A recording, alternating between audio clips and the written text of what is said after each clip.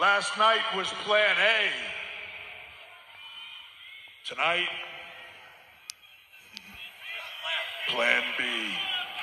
There's always a plan B.